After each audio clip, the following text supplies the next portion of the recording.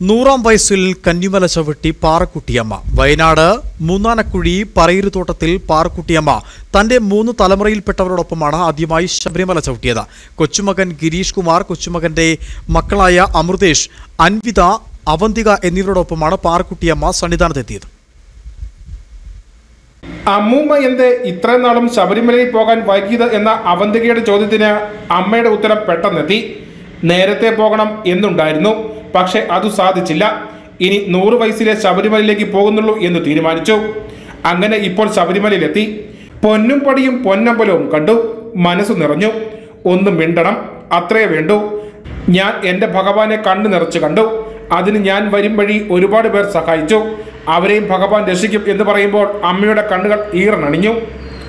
പാറക്കുട്ടി അമ്മയുടെ മക്കളായ ഭാനുമതിയുടെ മകൻ ഗിരീഷ് കുമാറിന്റെ ഭാര്യ രാഖി ജോലി ചെയ്തത് ഇസ്രായേലിലാണ്. അതിനാൽ പാലസ്തീനും ഇസ്രായേലും തമ്മിലുള്ള സംഘർഷം അവസാനിപ്പിക്കാൻ അയ്യപ്പനോട് പ്രാർത്ഥിച്ചുവെന്നും പാർക്കുട്ടി അമ്മ പറഞ്ഞു. ആയിരത്തി തൊള്ളായിരത്തി ഇരുപത്തി മൂന്നിൽ ജനിച്ചെങ്കിലും മല ചവിട്ടാനുള്ള പാർക്കുട്ടി അമ്മയുടെ ആഗ്രഹം സഫലമാകുന്നത് ഇപ്പോഴാണ്.